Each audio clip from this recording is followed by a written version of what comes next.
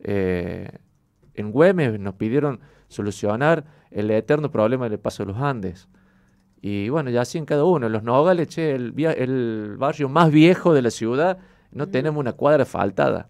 Bueno, serán las cosas que el vecino hoy te está pidiendo como prioridad, que son sencillas, pero en esa sencillez se la detecta a través de estar cerca de ellos. Y bueno, ese es un poco el, trabajo que vamos a hacer.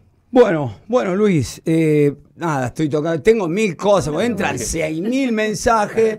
Pero eh, bueno, a ver. quiero preguntarle por deporte. Porque Hasta mi compañero quieren preguntar todo. Sí, sí, igual está todo muy reciente. O, sea que, o sea que Mario Montiel no lo puedo tener nunca en la radio porque ahora lo, te, lo llevas a. Mario, contale, ¿no es cierto que yo te llamé para. para Dale el micrófono, Mario. Hola, Mario. Hola, Cristian, ¿cómo, estás? Muy buenos, muy buenos días para todos. Disculpen que estoy medio mal de la voz, pero... Una voz tradicional, ¿no? Muy tradicional. Eh, yo antes de, esto, pero nada, poco tiempo antes que largue, te contó, lo llamé a Mario para trabajar acá, para hacer eh, un trabajo acá en la radio.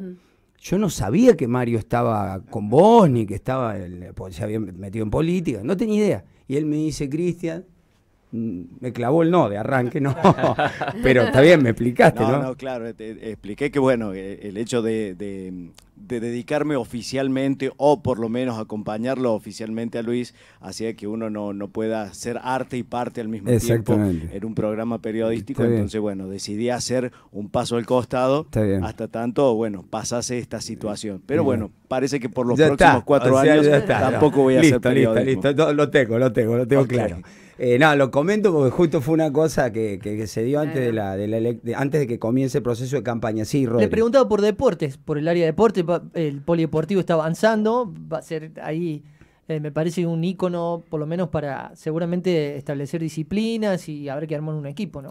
Sí, sí, sí. Tenemos mucha gente trabajando en deportes. Eh, Mati Oliva, Diego Brazale, muchos que han aportado ¿Quién es la persona de mayor confianza en deporte? No, no, todavía no todavía no tengo, así el equipo no tengo, pero sí tenemos claro que queremos hacer deporte. Queremos hacer un deporte inclusivo para todos, pero que no sea una competencia ni un monopolio que compite con los clubes. Así como eh, de alguna manera vamos a trabajar institucionalmente, en red, también queremos involucrar a los clubes barriales, a, la Alianza, a Falucho, a trabajar en conjunto, que ellos son los que saben hacer deportes y que la municipalidad sea un facilitador.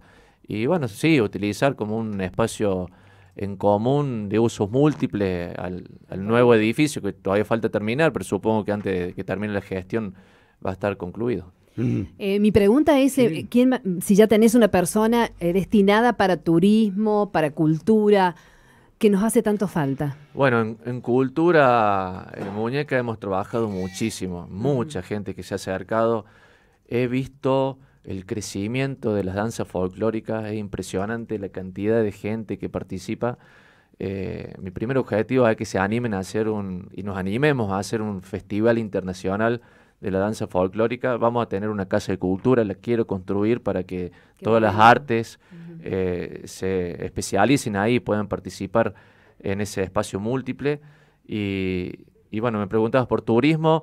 Hay tres o cuatro personas que he visto muy potables y lo vamos, bueno, en este transcurso de los seis meses lo voy definiendo. Bueno, un festival internacional de danzas, querés hacer un festival internacional de danzas.